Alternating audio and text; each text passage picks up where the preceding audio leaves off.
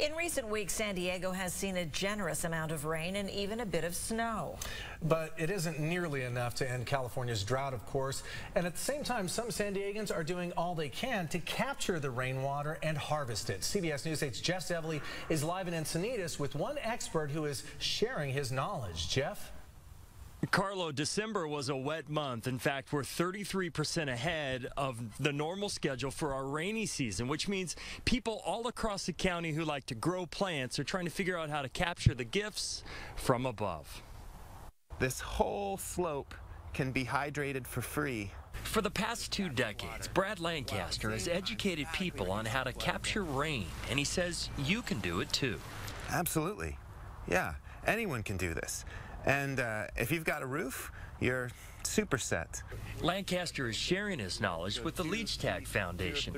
Their 67 acre ranch educates the public about agriculture and grows food to feed people. We're learning a lot from Brad. I mean, Daron Joffe, who is known as Farmer D, says Lancaster is helping divert rainwater for their crops. We don't get much of it here, but when we do, we want to try to maximize our ability to capture it. Brad Lancaster has sold 50,000 copies of his rainwater harvesting book, inspiring people across the country, including the McFarland family here in Encinitas. Ten years ago, Duncan McFarland started trapping water in barrels and tanks that flow off his roof through rain gutters. So I've got a couple of ways that I get it out. The easiest way Wow, that's a lot of pressure. Open the spigot, yeah, because it's full. Duncan says just a quarter of an inch of rain can trap enough water to nourish his tangerines, red peppers, lemon trees, and more. Rainwater has a little bit of nitrogen in it, so it's a bit more nutritious for plants too. McFarland installed his system for less than $1,500. The only problem, when all this equipment showed up, his wife Terry got confused. And I thought, oh my gosh, he's surprising the family with a hot tub for Christmas.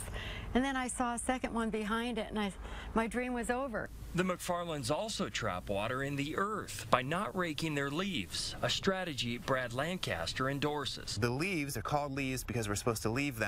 Lancaster says especially during a drought, every drop counts. It may be cliche, but we got to keep saying it because it's true.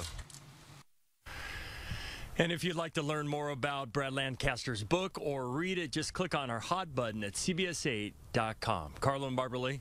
Jeff, we understand Brad is actually speaking tonight in Encinitas and that it's a full house, so obviously a lot of people really interested in this concept.